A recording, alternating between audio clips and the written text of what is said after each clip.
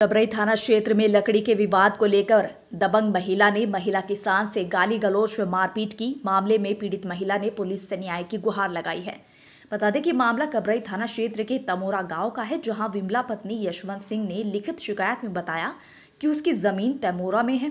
वह अपने खेत से जलाऊ लकड़ी लेकर घर आ रही थी।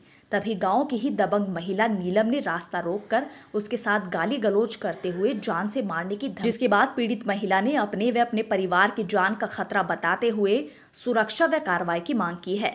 तो वहीं पुलिस ने भी लिखित शिकायत प्राप्त होने के बाद मामले में जाँच पड़ताल शुरू कर दी। पति और बच्चों की वजह से यहाँ हूँ बेटा। मेरी देवरानी सौतेली है बहुत परेशान करती है। धमकियाँ देती है। खेत में ज़बरदस्ती कब्जा। ये चार महीने से परेशान कर रही है। चार महीने से। ये तमौरा गाँव में रहती है और गाँव में खेती में रास्ते में हर जगह परेशान करती है। हाँ, लेके लठ आ जाती है तो मैं बच्ची का सहारा लेती हूँ। ये हरदम आती हैं। कल कल आई हैं शाम को। कल भी गाली की।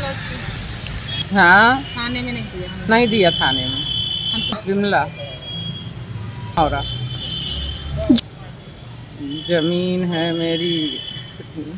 ज़मीन कितनी जी सर मतलब तमौरा गाँव से आई हुई है।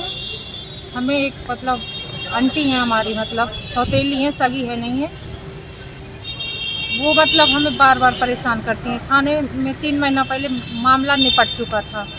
लेकिन आज भी वही मामला जब हम लकड़ी उठाने गए तो उसने फिर से वही झगड़ा वगैरह किया और लकड़ी नहीं उठाने दी थी। वो कहती है मेरी है। और जबकि हमारे पापा के नाम है एक सौ इक्यासी नंबर। की? हमारी समौरा गाँव। रहती है कि अगर न, ऐसे नहीं दोगे तो ज़बरदस्ती में दोगे। ऐसे केस लगवाऊँगी चाहे दस लाख रुपया लग जाए। कल दरोगा जी गए उनके सामने मुझे बुरी बुरी गाली दी दरोगा जी के सामने। और कह रही है ओ, लड़का कह रहा था कह रहा था ऐसे नहीं मानूँगी तो डंडे से तो मानूँगी। बाद में लड़के ने गाली दी यस नाम है उसका। क्या? नीलम नीलम।